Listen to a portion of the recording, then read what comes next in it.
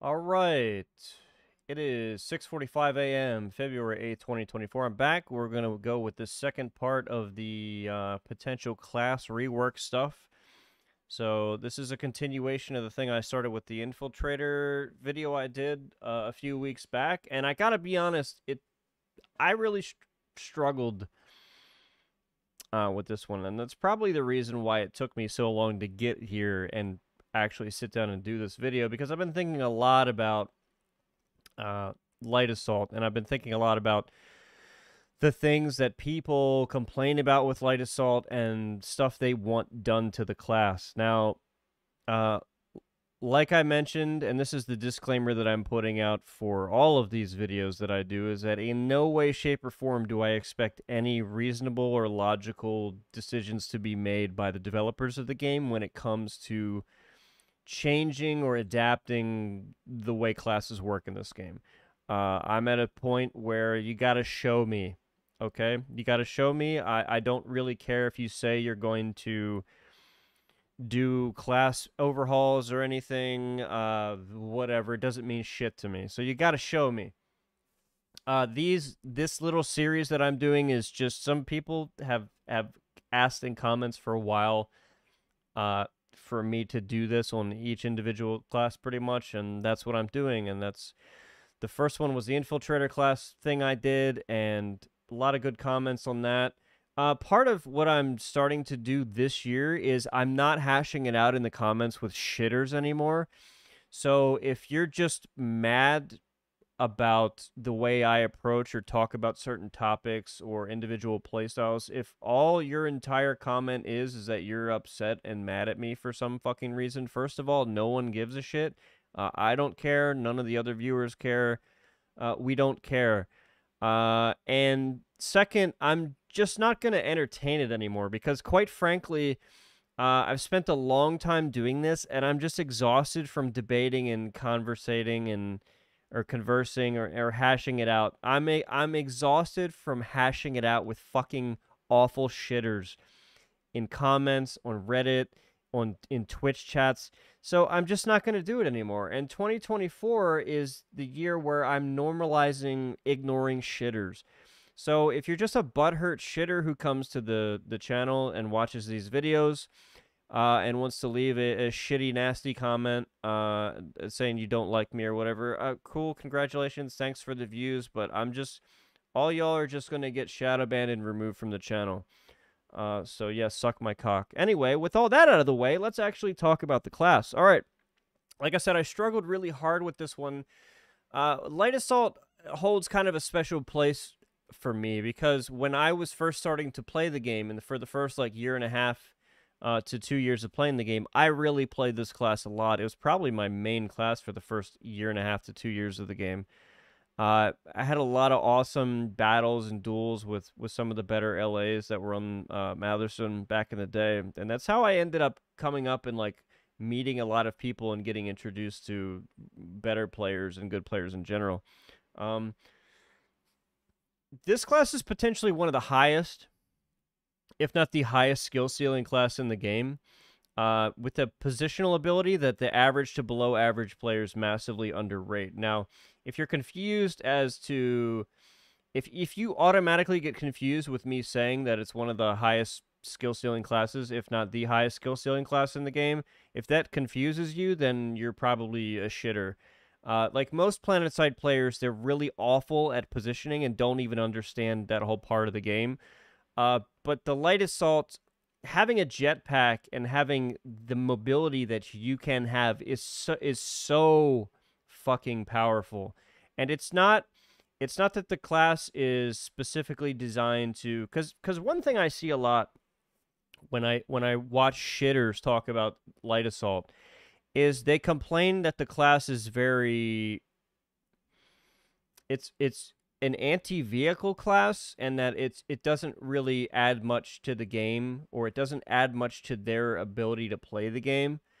Um and this is one of the things one of the things I've I've mentioned before a lot of average to below average players or bad players in games with classes derive probably about 90% of their ability to play the game from whatever the class gives them. Uh, and you see that in this game too. Now, if you're actually an above average player or a really good player, what individual trait the class gives you is just something that modifies your innate talent and ability. So like when when a good player plays light assault, if it's a good player who knows how to position and can shoot really well and has pretty good game sense, playing light assault, that last 10%, 90% of that guy's ability is coming from his innate ability to play FPS shooters and stuff like that. The, with the things that I mentioned, his positioning ability, aiming, aiming ability. But that last 10% is what he derives from whatever class he's playing. So in this case, it's that extra freedom of mobility. And you see this in, in any game. Uh, 2042 comes to mind because uh, there's a character with a grapple hook in that game, and and it's it, verticality in that game is de- depending on the map design, which a lot of the map design is terrible. Verticality in that game is fucking huge. It's critical. Uh, it's critical in PlanetSide too, in a lot of cases. But now there are some places where light assault is not as relevant, but in the comparison to 2042, uh, like the the character that has the grapple hook is is called Mackay. Uh, and one thing you will never see, you will basically never see shitters play Mackay because a shitter can't use a character like that because you kind of have to think you have to be able to think on a whole nother dimension of gameplay and what's going on and light assault is similar in a lot of the same ways um there's no light assault allows you to play with a certain creativity that you can't necessarily get anywhere else. And in for that reason i think the class is one of the most skill expressive classes possible uh, in the game, and I think that's a good thing. Uh, yeah, it's still really fun to play, and I still really have fun when I do play it, uh, because there are situations where you know you can't i can't just play heavy here. Like it, it just makes more sense for me to go play light assault and, and do what i need to do. Because uh, i know people bring up that that some people try to bring up the fact that because a heavy can wall jump, it's basically the same thing, or that it evens out with someone who has a jetpack. And you are so fucking deluded and, and wrong that it I can't even begin to explain how dumb you are. Uh so anyway, uh yeah, giving a jetpack to a shitter doesn't make that player relevant. Now, relevance, making shitters relevant is something that the infiltrator class does uh, extremely well because of the recon tools. You place a recon tool down, and now you have game sense uh, from pressing one button, and you have given some game sense to a whole bunch of people around you. That's and cloak makes you invisible. Giving a jetpack to a shitter doesn't make them positionally relevant. Uh, they can get places, but they might not necessarily know how to move to get there. They might not know the correct places to be and when they need to be in those places. Uh, and they also aren't invisible when they do it. And theoretically, their jetpack makes a sound. Now, we can get into that with the audio engine being completely fucked and broken and jetpack sounds just not playing at all. Uh, but that's a topic for another video. Uh, totally. So, yeah, giving a jetpack to a shitter does not at all make him relevant, and not in the same way.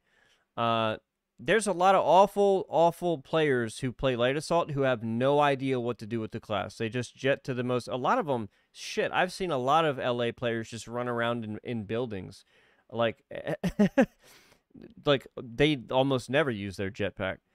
Uh, but yeah, it, it's not even remotely close to the same way the cloak and the recon tools make the infiltrator relevant, which is why infiltrator is such a bigger problem in general because infiltrator makes even the worst players relevant in a way that the jetpack on the light assault doesn't really make awful players relevant. Uh, so the big, big, huge topic of contention, I think, with this class mostly that I think most people hate and want removed is the hip fire while jetting. Uh, And this is something that I really struggled with. Um, I had to go back and remember to when, or, or try to go back and remember to when it didn't have that ability. Now, I don't know, a lot of you may not have played back then, uh, but I am fortunate to have played when you couldn't hip fire or you didn't you didn't maintain hip fire cone of fire while jetting. I also played at a time in the game where it was a lot of uh, a lot more decision making when it came. Without the hip fire while jetting thing, a lot of it was position, take your gunfight, position, take your gunfight, position, take your gunfight. And it was a lot more decision making, uh, a lot more fight or flight decision making. Uh, maybe the skill gap was higher there because of the decision making that you had to do and do with it. Uh, but at some point when hipfire jetting came into the game, it's just like, okay, we're taking out all the decision making that the player has to do. Now you can just do everything at once. So in that sense, I think the game was dumbed down a little bit. Uh, and another thing that I need to bring up here is I think there's an overall emphasis or ease of use for hipfire that's just way too prevalent in this game. Now, this isn't, I don't necessarily think that is a light assault hip fire while jetting problem because if the hip fire was just worse, I don't think it would be as bad or it wouldn't be as noticeable as people make it out to be. And maybe they wouldn't hate it that much. But but carbines I think this gets more into a thing of it's this is way more of a carbine problem, I think. Uh Yeah. Honestly, I think that carbine hipfire should just be worse in general. Uh short barrel needs to have an actual downside. Uh, there's no real opportunity cost to changing out a foregrip for a laser or short barrel builds on a lot of these carbines, and I think if it were me, I I think the hip fire while jetting thing is way more of a problem for people because honestly, if if imagine a world where light assaults had light machine guns. Just just do this thought experiment, right? Now take the hip fire values for LMGs and then put it on somebody who's hip fire jetting. Cuz I I still think they get I think they get walking hip fire while jetting. I, I could be wrong, and it's probably something I should actually look up, but I don't have the thing open in front of me. But I think they get walking hip fire spread uh, while jetting. I could be I could be wrong, but I think that's what they get. Now imagine imagine LA flying at you jetting while trying to hip fire an LMG compared to a, a, a carbine, or God forbid if they had ARs. Yeah, I think I think carbines uh, I think hipfire in general is is too good in the game, and the the stuff that does hip fire really good, uh, it's it it's probably a little too good. Now I'm someone who ADSs probably 95% of my kills. I always have been historically that way. Uh, so the the hip fire and the stuff that you can get away with hip firing in this game has always kind of annoyed me a little bit, but it hasn't really affected me that much, but just remember that when you think about hip fire, I always go back to the commissioner and I always look at the individual weapons like that. I'm like, this guy's playing for hip fire headshots at 30 meters with a pistol. And then I play with some of these carbines that are supposed to be, you know, like the for me the GD7F has always had its hit rate has been way too fucking high. That gun's way too accurate for what it is. A- any of these eight these 800 plus rate of fire carbines that, that just there's really no downside to putting running lasers on them or even short barrel. Short barrel is just it just with if you run short barrel laser, you should not be able to be accurate at ADS at like 30 to 40 meters at all. Um, those are those are called like opportunity costs, and because Wrel spent all of his time trying to buff shitters. What do shitters love to do more than anything? Shitters are really bad at ADSing, and shitters are really bad at uh, doing anything that isn't hip firing. So over time, I think you saw a, a, greater emphasis on letting shitters hip fire more and more, and I think this class is part of that. So uh, yeah, I'm not I'm not saying hip fire you should never hip fire. I'm just saying that the hip fire in this game is way too prevalent and it's way too easy and the the attachment stuff. Yeah, I don't think this is really a light assault problem.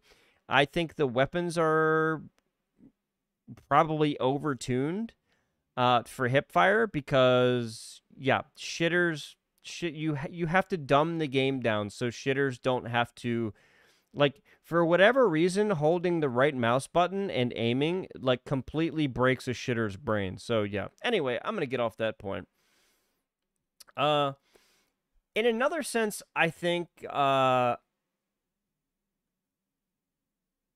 I think the hipfire while jetting really opens up the class and lets you do more. So as a as a better player for the game, as a better player, like I can play both, but at being a good player in the game, having the moving cone of fire while jetting is just more fun for me. Uh, and and when I'm doing these, I'm thinking, would I still have fun playing the class? Now I had fun playing the class when it didn't have hip fire jetting. Uh, but honestly, hip fire jetting is just objectively better. So I probably end up leaving it in the game, and I think people's frustrations come more from the hip fire in the game is too accurate. Honestly, uh, I think there should be a greater emphasis on ADS. So sorry guys i know i know people are going to be extremely mad that that i just don't gut the entire class but a lot of you guys are fucking mongoloid morons and you can't just go into the class and rip everything out of it that that makes it even remotely enjoyable to play. I'm sorry i'm not going to do that. There has to be some kind of nuance here uh, and a lot of you guys are completely incapable of doing that. Some jetpacks in and of its themselves I, you know, some jetpacks are problematic. Uh, the ambusher and drifter just don't play nice with the game's interpolation, and the movement speed that you get from those on top of that is just kind of silly. Uh, I would remove ambusher and drifter. Like, just get rid of those. So you have skirmisher and Icarus. Icarus, I'm slightly less down on for the health of the game, but in in a real world, the the default jetpack I think would be the only ones in the game, but I'm I guess I'm okay with Icarus. I don't know. I could have my mind changed on that. Uh, I think this goes without saying, but shotguns just shouldn't be accessible on light assault. Uh, I feel that way about heavy too. Uh, the entire strength and weakness of the shotgun in this game is just goes away when you put it on a class that can completely ignore the positional requirements that the weapon has. Uh, this is further exacerbated by the ambusher, but I would get rid of ambusher and I would just take shotguns off of LA completely. You just don't have access to that weapon. Uh, moving on, uh, the rocklet rifle. Man, when the rocklet rifle came out, I was a little confused as to why this class needed another. Because it always seemed to me back when before it had the rocklet rifle that it was a really good anti-vehicle class. Um, with uh, just the ability to fucking jet around and have C4, the verticality and positional ability with C4 is really fucking good. Uh, and look, man, if you want, if you want to do ranged AV, uh, pull heavier engineer. So, yeah, the rocklet rifle it was just another way to add burst damage to a class that because really what's the main complaint here is that the, the one everybody knows has been in this situation where the guy the guy redeploys to a fight it's some shitter he he goes at the fight you're at he can't kill you. So he just gives up trying to play the game and kill you or, or find a way to kill you and he what's he do? He has to kill the sunderer. Or there's for the LA directives, uh, there's all these directives that involve killing Sunderers just need to go in general. That's not necessarily an LA thing, but uh, it's just cancer. Uh, it it emphasizes killing spawns in a time when this has always been a problem, but with the populations the way they are now on specific servers, it's just like Will that will that change player behavior? I don't know. At this point, I don't know. But rocklet rifle has always been something I don't think I never thought the LA needed this at all. Uh, as a player playing the class, it's nice to have to to peck at vehicles and do it, but it doesn't do that much damage. And trust me, I'm all for annoying the fuck out of shitty vehicle players. Uh, but I think I think LA can do without the rocket rifle, if I'm honest. So, uh, yeah, I'm trying to think of if there's anything else I want to cover with this class. I've kind of hit all the major points I wanted to. Uh, yeah, really fun class to play. Really high skill ceiling. Uh, it needs to be cleaned up a little bit in terms of, you know, it can't have. It should not have shotguns. The jetpacks that throw you across the screen, impulse grenades. I'm sorry, they probably need to go to. Uh, just getting removing all this stupid shit that adds like fast movement speed to this game just doesn't play nice with the game. The hip fire while jetting thing, a lot of you guys are going to be butthurt and mad that I just don't rip it out of the game, but unfortunately, at the end of the day, I'm okay with it being in the game. Having played both versions of the class, having it without it and having with it, I'd much rather play with it. And I think you can do some balancing around how prevalent and good uh, hip fire builds are uh, on carbines and SMGs in general. So I think that's a better way to do it instead of just ripping all the fun playability out of the class. So yeah, uh, that's it for this one. Next up, I'm going to be talking about the medic.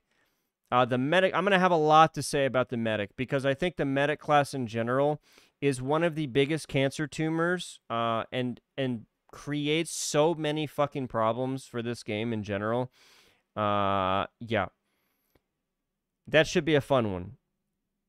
Uh, so yeah, I struggled really hard. It took me a long time to figure out what I wanted to do with light assault because uh, to sit down and do some critical thinking on this stuff, it, it's really easy to just get mad and post in the comments about how you want everything gutted from the game. I get it, but uh, I'm tr- actually trying to do a, a better job of thinking through the class in general. So yeah, uh, stay tuned for the next one. I'm going to be doing the medic. Uh, hopefully, the break in between these videos won't be as long uh, because my thoughts are, are pretty. Like I said, I struggled with the light assault here and changed my mind and flipped back and forth on this a bunch of times. But the medic, I have a very, very concrete plan and idea for what I want to do with that class. Uh, so yeah, maybe I will. That'll be out in a couple days, maybe a week or so. We'll see. But thanks again, guys, for all of your support. I appreciate it, and I'll see you in the next one.